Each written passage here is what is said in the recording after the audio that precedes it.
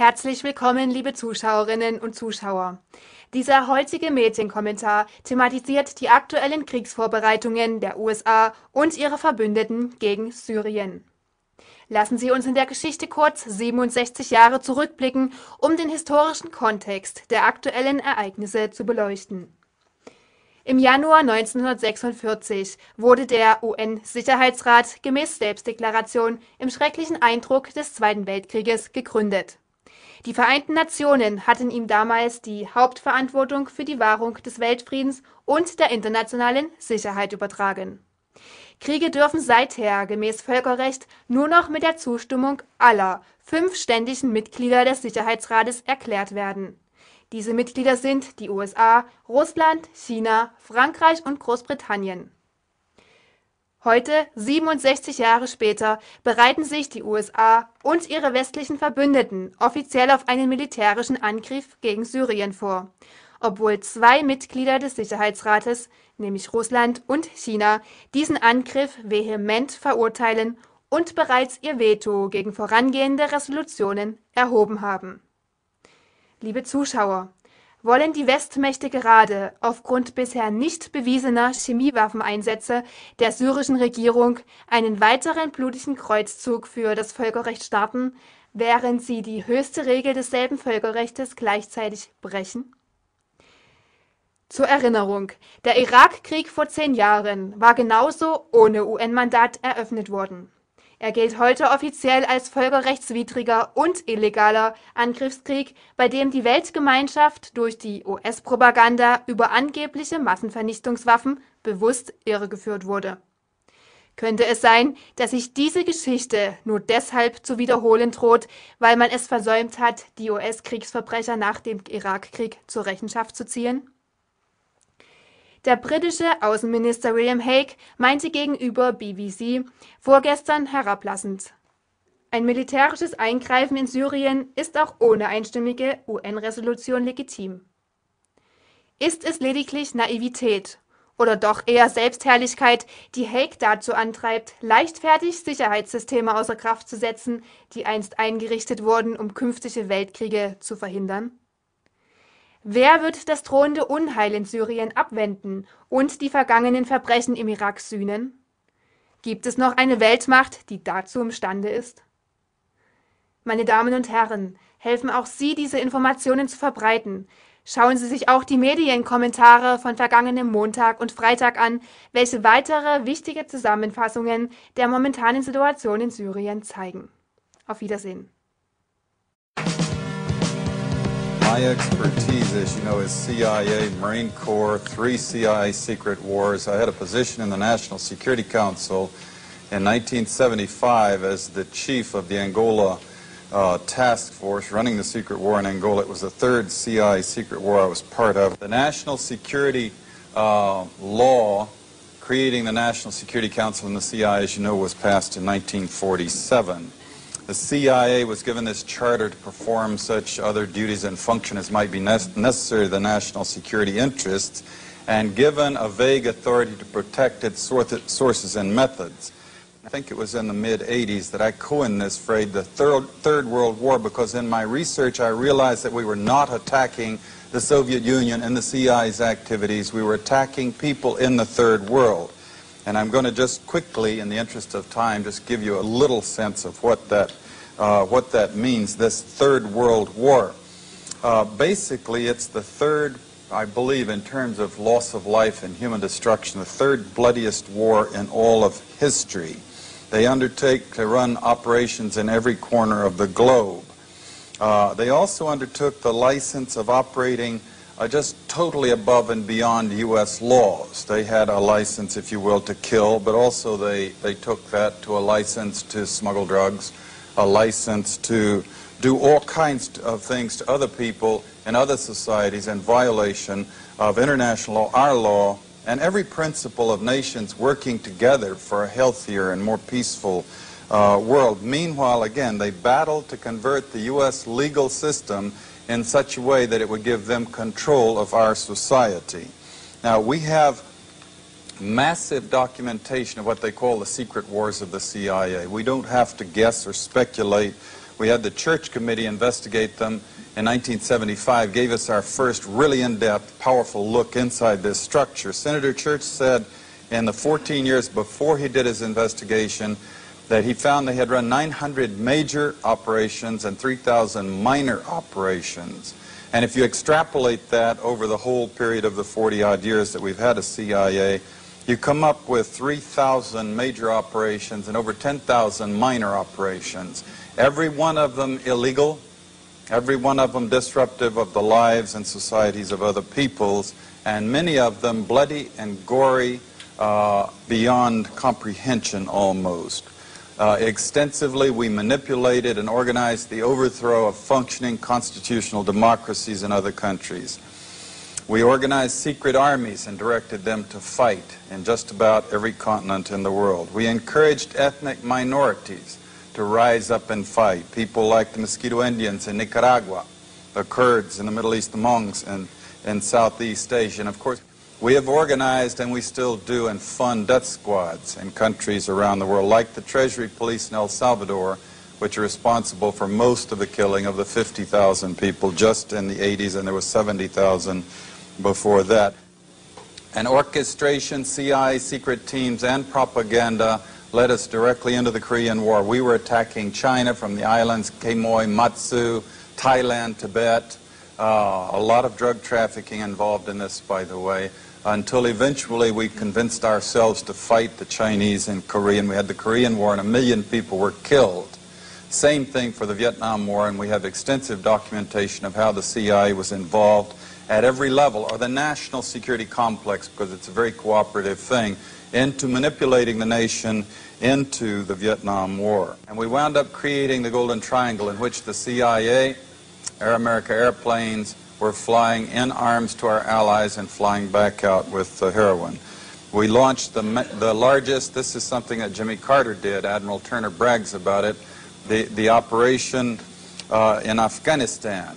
Biggest single operation, I'm told, in the history of the CIA's secret wars. And sure enough, very quickly we produced the Golden Crescent, which is still the largest source of heroin perhaps in the world today.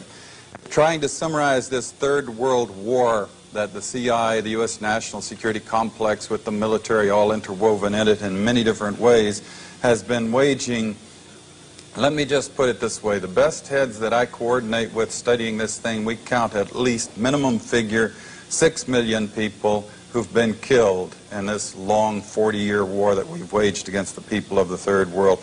These are not Soviets. We have not been parachuting teams into the Soviet Union to kill and hurt and maim people, uh, especially not since 1954 when they developed actually a capability of dropping atomic weapons on the United States. They aren't Britain, British, French, Swedes, Swiss, Belgians. We don't do bloody, gory operations uh, in the countries of Europe. These are all people of the third world. They're people of countries like the Congo, Vietnam, Kampuchea, Indonesia, Nicaragua, where conspicuously they nor their governments do not have the capability of doing any physical hurt to the United States. They don't have ICBMs. They don't have armies or navies. They could not hurt us if they wanted to. There has rarely been any evidence that they really wanted to. And that, in fact, is perhaps the whole point. If they had had ICBMs, we probably wouldn't have done the things to them for fear of retaliation. Cheap shots, if you will, killing people of other countries of the world who cannot defend themselves under the guise of secrecy and under the, the rubric of national security.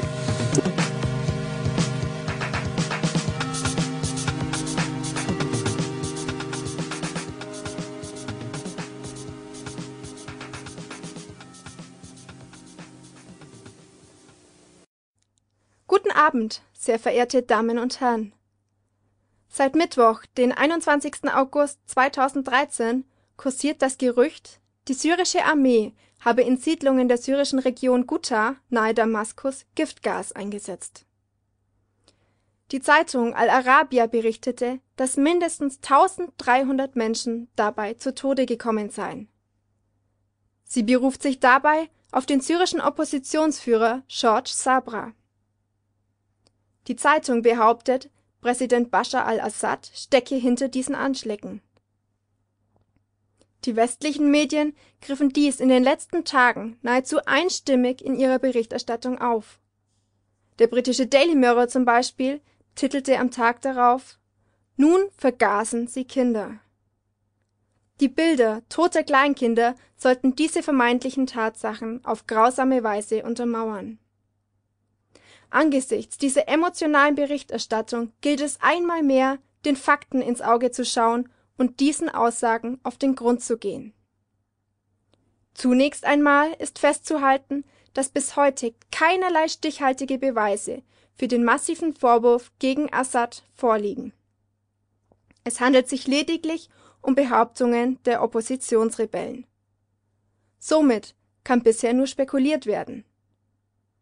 Die westlichen Medien und Politiker, die behaupten, dass diese Aussagen verlässlich seien, stehen auf sehr dünnem Eis. Mitarbeiter der Nachrichtenagentur Anna News, die zu besagter Zeit in dem Bezirk, Bezirk Ostguta vor Ort waren, zeichnen ein ganz anderes Bild der dortigen Lage. Sie berichten, Ende des vergangenen Jahres wurde der Ort von Eliteeinheiten der Al-Nusra-Front besetzt. Aufgrund der ständigen Kämpfe wurde der Ort längst von Zivilisten verlassen. Derzeit sind nur Rebellenkämpfer dort, keinerlei Zivilisten. Hier befinden sich keine Frauen oder Kinder mehr, deren Leichen uns die westlichen Medien heute demonstrieren. Es befinden sich auch keine Einheiten der Freien Syrischen Armee an diesem Ort, sondern nur internationale Terroristen von ausländischen Al-Qaida-Einheiten sowie professionelle ausländische Söldner, die unter anderem auch von US-amerikanischen Instrukteuren in Jordanien ausgebildet worden sind. Die Journalisten berichten, dass am besagten Ort am 21. August eine Antiterroroperation stattgefunden habe. Darüber sagen sie, mit Dutzenden von Kameras, die unter verschiedenen Kamerawinkeln arbeiten, dokumentieren wir ohne Unterbrechung den gesamten Fortgang der Operation. An den Explosionsbildern kann jeder Fachmann unschwer erkennen, dass die Armee nur Standardmunition einsetzt. Es gibt keinerlei kriechenden Rauch. Bedenkt man das windige Wetter, die Bedingungen unter Nahkampf und dass die Soldaten keine Gasmasken benutzen, wären Soldaten und an der Front filmende Kameraleute selbst massiv von der Wirkung von chemischen Kampfstoffen betroffen aber es gibt nichts dergleichen. Das zeugt einmal mehr davon, dass die Kampagne in den Medien über C-Waffeneinsätze der Armee eine Lüge ist. Der geopolitische Analytiker Patrick Henningsen wirft im Zusammenhang mit dem vermeintlichen Giftgasanschlag auch die Frage auf, wem ein solcher Anschlag nütze. Er erinnert daran, dass nur wenige Tage zuvor Waffeninspekteure der UN in Syrien eintrafen und nur unweit des behaupteten Tatorts entfernt ein Hotel bezogen. Hätte Bashar al-Assad in der Tat zur Zeit der Anwesenheit dieser Inspekteure chemische Waffen eingesetzt, müsste man ihn als absoluten Dummkopf betrachten. Denn die USA und ihre Partner werden nicht müde, auf die rote Linie hinzuweisen, die sie im Jahr 2012 erstmalig beschworen. Diese würde überschritten, sobald in Syrien Chemiewaffen zum Einsatz kämen. Eine chemische, eine militärische Intervention durch die USA und ihre Partner werde dann unausweichlich folgen. Diese Warnung rückt die Vorkommnisse in den letzten Wochen in ein ganz anderes Licht. An dieser Stelle möchten wir noch einmal daran erinnern, wir sprechen von bisher unbestätigten Anschuldigungen durch die syrischen Rebellen sich allein auf ihre Aussage zu verlassen, ist fahrlässig. Es liegen bisher keinerlei Beweise vor. Dennoch erklärte US-Außenminister Chuck Hagel bereits am Sonntag, den 25.08., dass das US-Militär grundsätzlich auf eine militärische Intervention in Syrien vorbereitet sei und nur auf eine Entscheidung Obamas warte. Der russische Politiker Alexei Puschkow sagte hierzu Unausweichlich bewegt sich Obama auf einen Krieg in Syrien zu, so wie zuvor Bush im Irak. Er ergänzte, genauso wie im Irak wird dieser Krieg nicht rechtmäßig sein und Obama wird zu einem Bush-Klon. Meine Damen und Herren, es muss uns allen klar sein, dass es nicht allein um Syrien geht. Es zeichnet sich hier eine Konfrontation der großen Machtblöcke ab.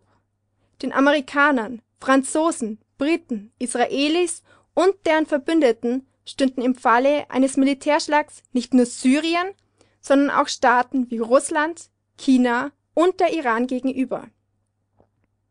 Wie diese reagieren würden, ist ungewiss. Sicher ist jedoch, was der syrische Informationsminister Omran al-Subi vorhersagt. Eine US-Militärintervention wird ernsthafte Nachwirkungen haben und einen Feuerball erzeugen, der den gesamten Mittleren Osten in Brand setzen wird. Liebe Zuschauer, sorgen Sie mit uns gemeinsam dafür, dass dieses bedrohliche Szenario bekannt wird, noch bevor die ersten amerikanischen Raketen syrische Menschenleben fordern. Machen Sie möglichst viele Menschen auf die genannten Zusammenhänge aufmerksam. Guten Abend. Der heutige Medienkommentar dreht um den Kriegskonflikt in Syrien.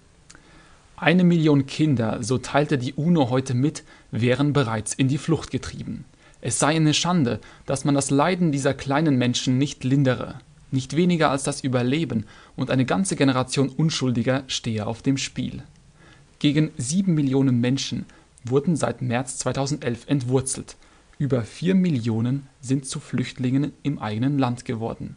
Die anderen sind in die Nachbarländer geflohen. UNO-Generalsekretär Ban Ki-moon hat nun angedroht, dass es im Fall einer Bestätigung von Giftgaseinsätzen in Syrien zu ernsten Konsequenzen käme. US-Senator McCain hat Präsident Obama postwendend dazu aufgerufen, mit militärischen Mitteln in den syrischen Krieg einzugreifen. Nach dem mutmaßlichen Giftgaseinsatz in Syrien dürfe Washington nicht mehr länger tatenlos zögern, sagte er gegenüber dem Nachrichtensender CNN. Die beiden UNO-Organisationen UNICEF und UNHCR klagen währenddessen die gesamte Weltgemeinschaft an, weil diese dem Konflikt fast tatenlos bloß zusehe und gegenüber den syrischen Kindern kläglich versage, von denen heute eine Million auf der Flucht seien damit die passiv beschimpfte Weltgemeinschaft überhaupt sinnvoll aktiv werden kann, hält Klagemauer TV an dieser Stelle für sie fest, auf welchem Weg die USA zu ihrer militärischen Vorherrschaft gelangt ist. Dann aber hält Klagemauer TV auch fest, auf welchem Weg es zu dem ganzen Syrien-Konflikt überhaupt gekommen ist. Diese sich zunehmend als Retter aufspielende USA lernten wir ursprünglich über die Wildwest-Filme kennen. Gnadenlos schlachteten sie so lange alle Ureinwohner ab, bis nicht allein die Weltgemeinschaft, sondern auch das amerikanische Volk selber zu lauten Protesten ansetzte. Wie das Chamäleon die Farbe wechselte das US-Imperium ihre Kriegstaktik. Fortan installierten sie Verteidigungsministerien und gaben vor, nur noch zurückzuschießen, falls sie angegriffen würden. Gesagt getan, 1898 kam es unter vielem anderen zur Sprengung des US-Schlachtschiffes USS Maine. Darauf konnte die USA selbstverteidigend einen Krieg gegen Spanien anzetteln. 1941 kam es zum japanischen Angriff auf Pearl Harbor, für die USA Grund genug, um in den Zweiten Weltkrieg einzumarschieren Spätestens aber seit dem Fall der beiden Türme an 9/11, noch mehr seit den fehlenden Massenvernichtungswaffen des zu Unrecht zerbombten Iraks wurde zumindest einem Teil der Weltgemeinschaft klar, dass hier allerlei Überfälle inszeniert wurden, um gewollte Kriegsgründe zu finden. Ex-CIA-Agenten, die um ihres Gewissenwillens aus dieser amerikanischen Terroristenvereinigung ausgestiegen sind zeugen heute von 10.000 kleineren und 3.000 großen Einsätzen dieser Art allein in den vergangenen 40 Jahren. Sehen Sie dazu die Filme und Berichte, die am Ende als Quellen vermerkt sind. Achtung, diese Filme sind nichts für Kinder.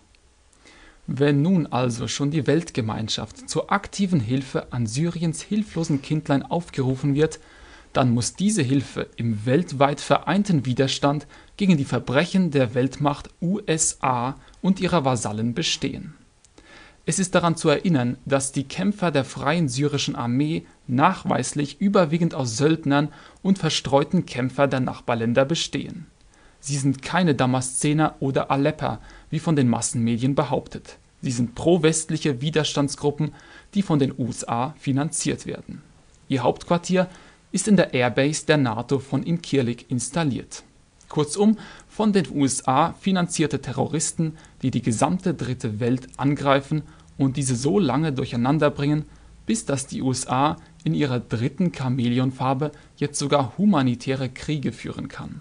Das heißt, sie treten nun bereits als Retter der Nationen auf, während sie nichts anderes als ihre alten Schlechterkriege fortführen. Der CIA-Aussteiger John Stockwell bezeugt in seiner Expertise über die CIA bezüglich der Marine Corps und der geheimen US-Kriege Bereits Mitte der 80er prägte ich den Begriff Dritter Weltkrieg, weil ich bei meinen Recherchen erkannte, dass wir mit unseren CIA-Aktivitäten nicht die Sowjetunion angegriffen haben. Und jetzt kommt's. Wir griffen die Menschen in der dritten Welt an. Ich werde Ihnen jetzt sagen, was dieser dritte Weltkrieg bedeutet. Im Grunde genommen ist es, glaube ich, der drittblutigste Krieg in der gesamten Geschichte. Wir unternahmen Operationen in jedem Winkel des Globus. John Stockwell ist der höchstrangige CIA-Offizier, der je die Agentur verlassen hat und an die Öffentlichkeit gegangen ist. Er leitete einen CIA-Spähposten im geheimen CIA-Krieg in Angola 1975 bis 1976 beachten Sie auch weitere Zeugenaussagen ehemaliger CIA-Agenten. Die heute aufgeschalteten Filme in unserer Rubrik Bildung unzensiert beinhalten zwei wichtige Zeitzeugen dieser Art. Sie decken auf, dass die USA mit ihrer Masche der humanitären Kriegsführung noch längst nicht am gewünschten Ziel sind. Denn schon lange hat dasselbe Chamäleon insgeheim eine sehr bedrohliche vierte Farbe angenommen. Seit den Zeugenaussagen von immer mehr hohen CIA-Agenten versucht die US-Regierung, alle aufgedeckte Kriegsschuld allein der CIA in die Schuhe zu schieben. Darin sind sie ja Meister. Doch eine solche Schuldabwälzung darf vom Völkerrecht her niemals auch nur schon in Betracht gezogen werden. Dies so wenig wie etwa die Straffreiheit von Eltern, die ihre unmündigen Kinder dabei schützen, während diese ungehindert terroristische Anschläge verüben zu guter Letzt sei daran erinnert, dass die US-Kriegsprovokationen, wie sie heute US-Senator McCain gegenüber Präsident Obama betrieben hat, laut China und Russland eine Provokation für einen direkten neuen Weltkrieg sind. Denn gemäß Androhung der Staaten der Shanghai-Organisation bewerten diese Großmächte einen Angriff auf Syrien gleich wie einen direkten Angriff auf ihr eigenes Land. Sie fungieren daher als Sicherheitsmächte für Syrien. Dies tun sie, weil sie erkannt haben, dass es den USA niemals um das leidige Schicksal von Millionen Kleinkindern, sondern einzig und allein um die Erbeutung neuer Ressourcen an Öl und allerlei Bodenschätze der Dritten Welt geht. Ganz im Stil der alten Wildwestmanier. Nur leider bald im Gewand ihrer vierten Chamäleonfarbe. Haben auch Sie ein öffentliches Unrecht zu beklagen? Bleiben Sie damit nicht allein. Schreiben Sie noch heute an klagemauer.tv. Klagemauer TV. Nicht gläserne Bürger, gläserne Medien, Politiker und Finanzmogule brauchen wir.